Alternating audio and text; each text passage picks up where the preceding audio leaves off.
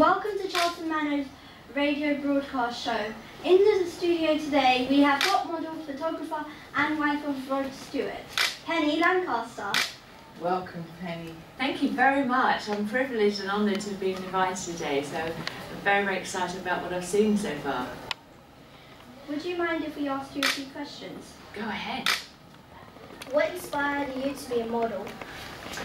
Oh, um, well, when I was at school, I wasn't sure what career um, I wanted to go into, and everybody said, well, because you're so tall, maybe modelling would be a good thing. So I ended up going to the London College of Fashion and did a year's course there for modelling, which taught me about the modelling industry and fashion industry, and um, that's how I eventually got into, into the modelling game. Did you enjoy it?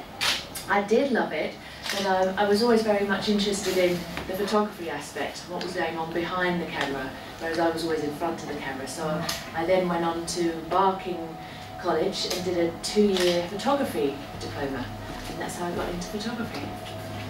How long have you been dancing? Um, I started dancing when I was about six or seven, and I danced for, about five years until I realised I was going to be too tall to be a dancer. So being tall is an advantage when you want to be a model, but not when you want to be a dancer.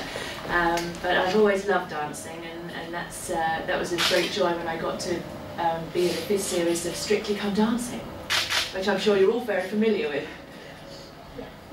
Why, why are you interested in children having a good breakfast?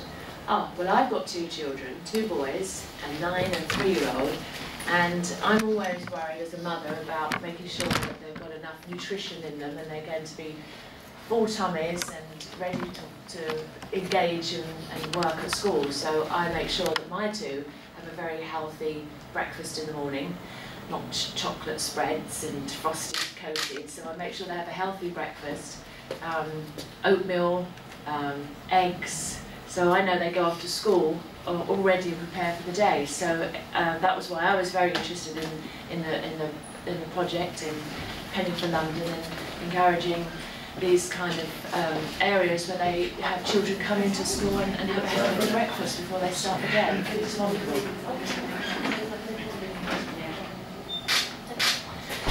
What were your dreams as a kid?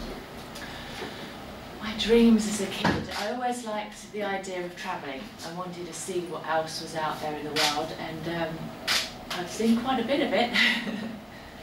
we do a lot of travelling, we live most of the time in Los Angeles um, and we have a house back here in England and my husband sings as you know and so he tours all around the world so we travel with him as a family. We're off to Australia in a few months time. So uh, yes, I, um, one of my dreams of travelling did come true. What, did you have a good breakfast when you were young? I do remember having a good breakfast. I always had a very healthy appetite. Um, and then my, I remember the lunch that my mum used to pack me, I used to have as a snack and then went for school dinner. So um, maybe that's why I'm so tall. So I ate lots of healthy breakfast. How did a good breakfast benefit you? Well, I think if you if you go to school hungry, then you're going to be distracted. You won't have energy, and so I think by having a healthy breakfast for the start of the day, um, just makes you more productive. Did you enjoy school? I did. I love school. I really did enjoy school.